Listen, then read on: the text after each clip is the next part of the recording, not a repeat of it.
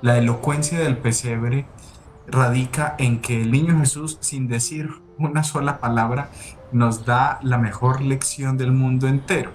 Es una lección de humildad. Entonces, los cristianos, casi que todos los que estamos en este momento, tenemos un gran defecto y es que nos creemos sabernoslas todas. Eh, tenemos ese, ese orgullo y no somos capaces de contemplar ese niño humilde, como eh, dice bien claro la escritora, todo un Dios, todo un rey de reyes, y se hace frágil, se hace pequeñito, eh, eh, deja que lo envolvamos, la humanidad, representado pues en José y en María, deja que lo envolvamos en pañales.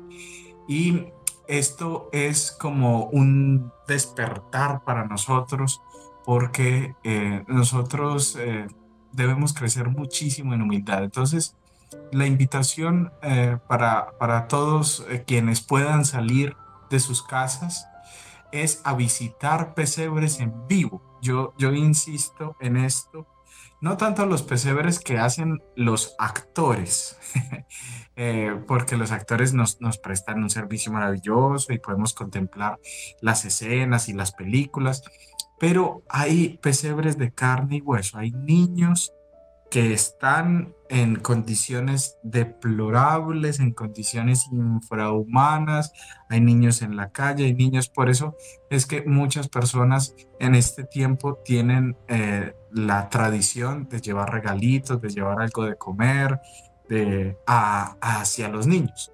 Pero entonces qué bonito que nosotros visitásemos estos pesebres en vivo que les digo yo, que están en nuestras calles, pero para aprender Mm, o sea, cambiemos el chip. Eh, nosotros, si vamos a Belén, si vamos al pesebre a visitar al niño Jesús, vamos a aprender de él. Así sea un niñito que, que, que no hable todavía, pero es su humildad, su ternura, como dice Jesús mismo, quien sea como uno de estos niños será ganador pues del reino de los cielos. Así que démonos la oportunidad de aprender de los más pobres, de los necesitados, que en realidad ocurre lo contrario. Parece que nosotros les diéramos algo, pero en realidad ellos nos están dando las mejores lecciones del mundo.